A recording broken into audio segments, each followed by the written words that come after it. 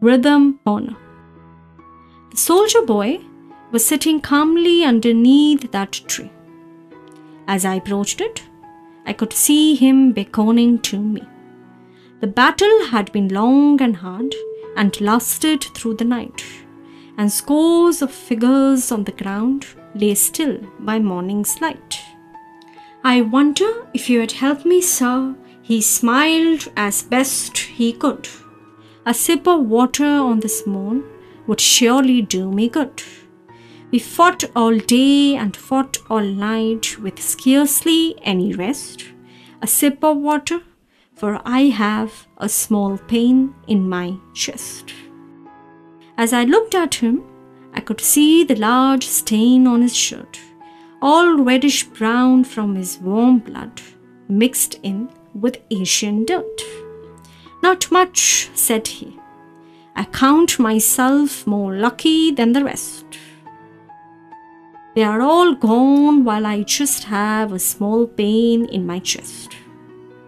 Must be fatigue, he weakly smiled. I must be getting old. I see the sun is shining bright, and yet I'm feeling cold. We climbed the hill two hundred strong, but as we cleared the crest, the night exploded, and I felt the small pain in my chest.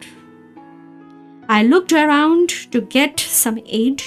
The only things I found were big, deep craters in the earth, bodies on the ground. I kept on firing at them, sir. I tried to do my best, but finally sat down with the small pain in my chest. I am grateful, sir, he whispered as I handed my canteen and smiled a smile that was, I think, the brightest that I have seen. Seems silly that a man my size, so full of whim and zest, could find himself defeated by a small pain in his chest. What would my wife be thinking of a man so strong and grown? If she could see me sitting here too weak to stand alone? Could my mother have imagined, as she held me to her breast, that I'd be sitting here one day with this pain in my chest? Can it be getting dark so soon? He winced up at the sun. It's growing dim, and I thought that the day had just begun. I think before I travel on, I will get a little rest and quietly the boy died from that small pain in his chest. I don't recall what happened then. I think I must have cried.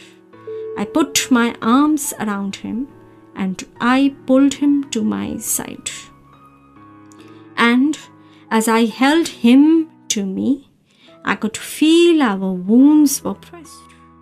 The large one in my heart against the small one in his chest.